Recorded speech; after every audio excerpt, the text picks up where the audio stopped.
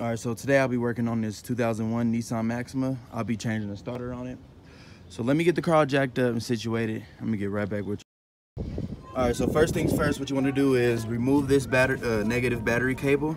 Remove that, put it to the side. Nextly, what I'm gonna do is, there is a little clamp right here. You see this right here?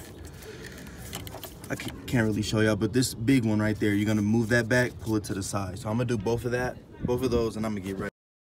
Okay, so next we got this air mass airflow sensor. Uh, just a little tab like that.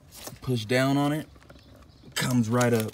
And then next we got some bolts. We got uh, one, two, and three. I'm gonna do all that and get right back with you. My bad, yeah, we gonna get them three off. One, two, and three that I showed y'all. One, two, and three, but there's also two more right here. One and one. Be careful because uh, yeah, be careful because there's little wire harness. I don't want it to break. So once we get all those off, it's gonna release this whole thing right here. So let me do that, get right back. And they're also 10 millimeter bolts. Don't know if I said that, but yeah, 10 millimeter. Okay, so we're gonna undo this clamp right here, and then it should just lift all the way up after that. And then we're gonna disengage it from here, and um, I'm gonna show y'all the next step after that. Get right back with all right, once you pick it up, you're gonna see that there's a little hose right there. Just get that off like that. Set this air box to the side like this. Set it to the side.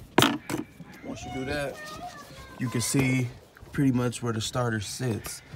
So let me go ahead and start taking off some of these battery connections and uh, I'm gonna get right back with y'all. Also, after you get those battery connections off, you have this right here, this wire that goes to the starter right here.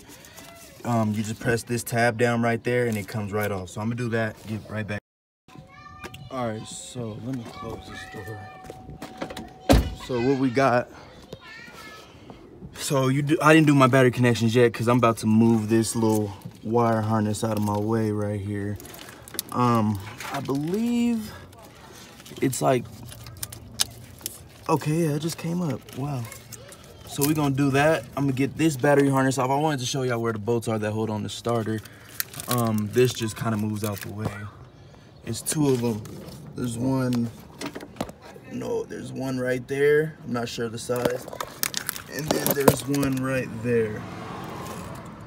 So I'm gonna get both of those off and um, show y'all what that looked like. So I'll be right back. Okay, no, sorry, scratch that. Um, that is not the bolt right there. It's, it's, I want to move this out the way. I can't really show you. It's like, it's right there behind this little hook looking thing. So it's, that looks about a 14 and then a 17 right there. So those are the two bolts that I'm gonna get off and I'm gonna get right back with you guys. All right, once you get that big old 17 millimeter bolt out, and this little 14 millimeter bolt out, it just comes right up like this. Look at that. All that for that.